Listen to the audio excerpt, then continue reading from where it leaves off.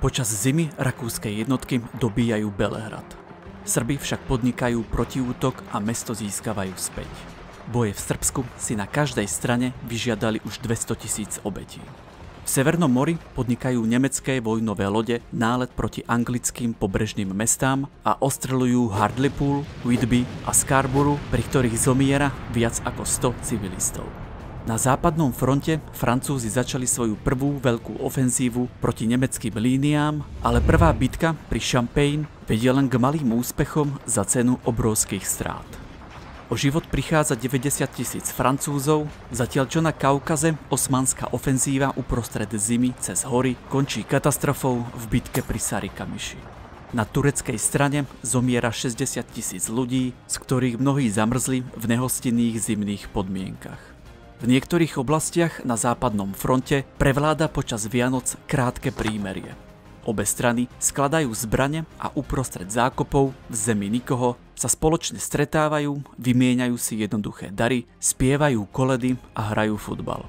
V rámci prvej strategickej bombardovacej kampane na svete posiela Nemecko dve obrovské vzducholode, známe ako Zeppelin, aby bombardovali Britániu.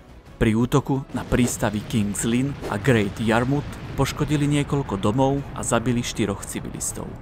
Na mori, v bitke pri Dogger Bank, sa britskému námorníctvu podarilo potopiť jeden nemecký krížnik. Zvyšok nemeckej flotily však unikne keďže Británia vyhlásila námornú blokádu Nemecka, čím zabránila životne dôležitým dodávkam vrátane potravín dostať sa po mori do krajiny, Nemecko vyhlasuje vlastnú blokádu. Vody okolo britských ostrovov sa stávajú vojnovou zónou a na každú spojeneckú obchodnú loď v tejto oblasti zaútočí bez varovania. Británia je závislá na dovoze potravín a Nemecko ju chce týmto krokom vyhľadovať a prinútiť kapitulovať. Na východnom fronte nemecký polný maršál von Hindenburg začína zimnú ofenzívu a spôsobuje ďalšiu masívnu porážku ruskej armáde v druhej bitke pri Mazorských jazerách. Rusi strácajú 200 tisíc mužov, z ktorých polovica sa vzdáva uprostred krutých zimných podmienok. Rusi však majú väčší úspech proti Rakúsko-Uhorsku. Po štvormesačnom obliehaní obsadzujú mesto Přemyšl a zajímajú 100 tisíc zajadcov. Celkové straty Rakúsko-Uhorska už dosiahli 2 milióny. Medzi tým Briti a Francúzi posielajú svoje vojnové lode k Dardanelám v snahe ohroziť Konštantínopol, hlavné mesto tureckej osmanskej ríše. Sú presvedčení, že demonstrácia sily ju prinúti vzdať sa. V úzkých úžinách bombardujú pobrežné turecké opevnenia. Tri z ich bojových lodí sú však potopené mínami a ďalšie tri sú poškodené, čo núti spojencov útok odvolať. Na západnom fronte Briti útočia na New Chapel, ale postup je čoskoro zastavený nemeckým osnatým drôtom a gulometmi. Britské a indické jednotky utrpeli 11 tisíc obetí, čo bola asi štvrtina útočnej sily. O 6 týždňov neskôr, v druhej bitke o Ypres, Nemci prvýkrát na západnom fronte zaútočili jedovatým plynom. Oblak smrtiaceho plynného chlóru núti spojenecké jednotky opustiť svoje zákupy. Nemci však nemajú pripravených dostatok rezerv, aby to využili. Vojaci na oboch stranách sú rýchlo zásobovaní plynovými maskami, pretože sa začínajú preteky vzbrojení v chemických zbraniach. Spojenci začínajú vyloďovať pozemné jednotky v Gallipoli, vrátane mužov austrálskeho a novozélandského armádneho zboru ANZAC. Ich úlohou je zlikvidovať pobrežné pevnosti, ktoré bránia spojeneckým vojnovým lodiam dosiahnuť Konštantínopol. Okamžite sa však stretávajú s tvrdým tureckým odporom, ktorý ich uväzní na pobreží. Deň pred spojeneckým vylodením začala Osmanská ríša systematickú deportáciu a vraždenie etnických Arménov žijúcich na jej území.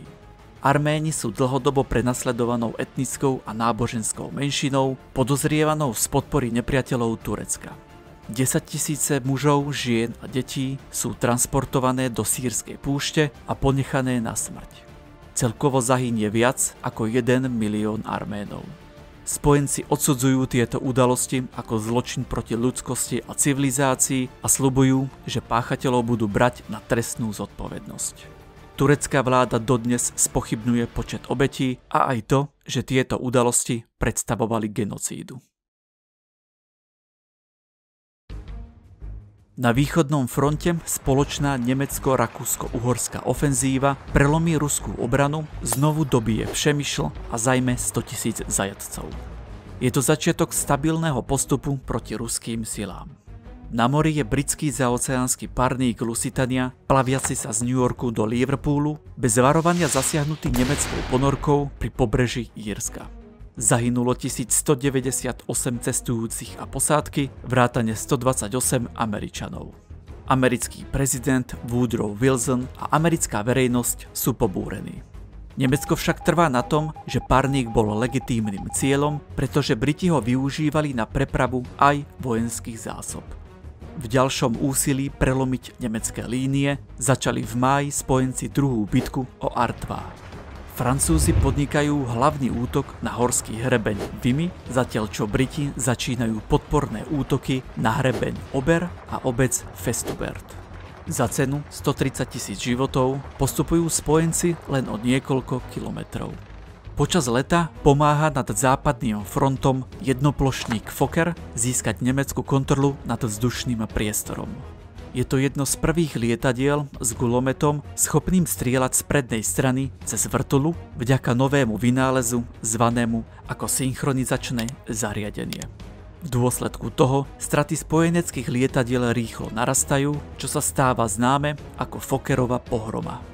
Taliansko, ovplyvnené britskými a francúzskými slubmi o územných ziskoch na úkor Rakúsko-Uhorska, sa pripája k spojencom a vyhlasuje vojnu Rakúsko-Uhorsku, neskôr Osmanskej ríši a Nemecku.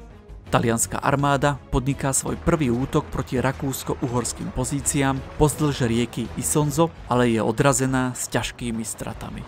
Medzi tým spojenci čelia kríze na východnom fronte. Rusi začínajú všeobecný ústup a opúšťajú Polsko.